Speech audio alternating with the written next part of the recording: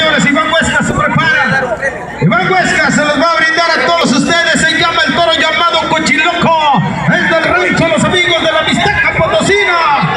El señor Alberto Vázquez, la banda, Brisa Sureña.